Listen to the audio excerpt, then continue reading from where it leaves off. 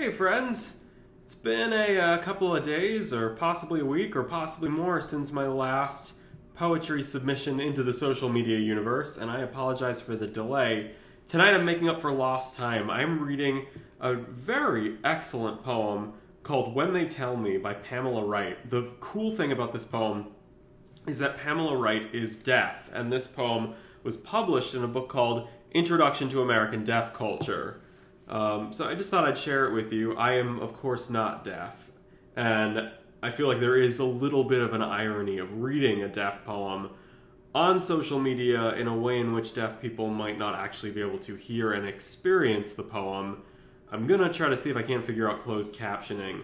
Uh, I also just wanted to note that generally speaking, I may continue to read poetry by people who are in some way, shape, or form fundamentally different than me, a- average American straight white male.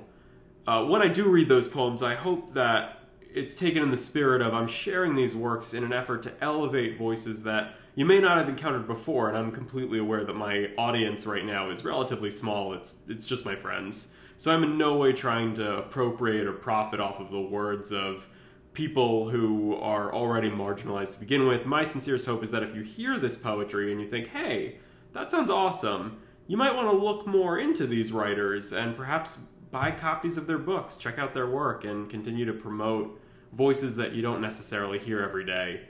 And all this is coming from a voice that you do hear necessarily every day. So I'll work out the irony of all of this in my head. But in the meantime, tonight I am elevating the voice of Pamela Wright. This is When They Tell Me. When they tell me that my thoughts cannot possibly be powerful because my voice cannot create beauty, I feel angry. But I'm not allowed anger, for to be angry is to be defiant. When they tell me that to be good I must be obedient, taciturn, never cause trouble, to comply gratefully in the face of insults and humiliation, I feel rage. But I am not allowed rage, for to feel rage is to be a radical.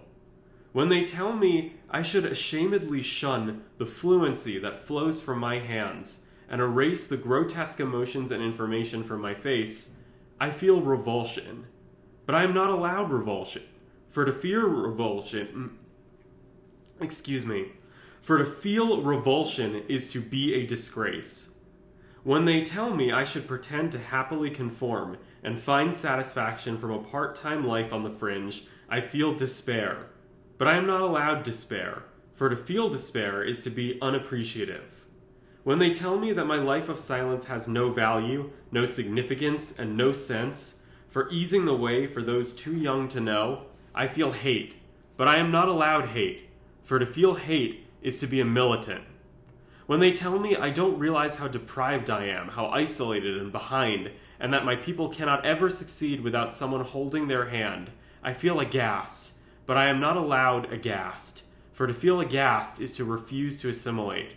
When they tell me I cannot be tenacious, I must accept coercion. I cannot be opinionated, I must accept debasement.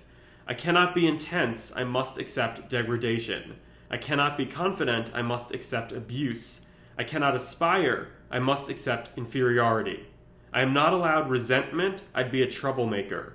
I am not allowed fury, I'd be a rebel. I am not allowed horror, I'd be abnormal. I am not allowed frustration, I'd be insane.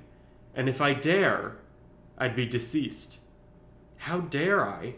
Oh, do I dare? I do dare, and I can, but I am not allowed strength, for I am not allowed to be human. Wow. See, I, I find this poem especially powerful because I think it actually both really lends a megaphone to the deaf experience, but it also is so transferable to really anyone of minority status in this country. I feel like this these words could apply to a ton of different people's shared and lived experiences, and I'm extremely grateful to Pamela Wright for allowing me this window into her experience. And if I can, I'm going to keep trying to elevate these kinds of poems and send this out into the social media universe in the hopes, as I said before, that you will find more artists like this and maybe be compelled to hear and listen to them more.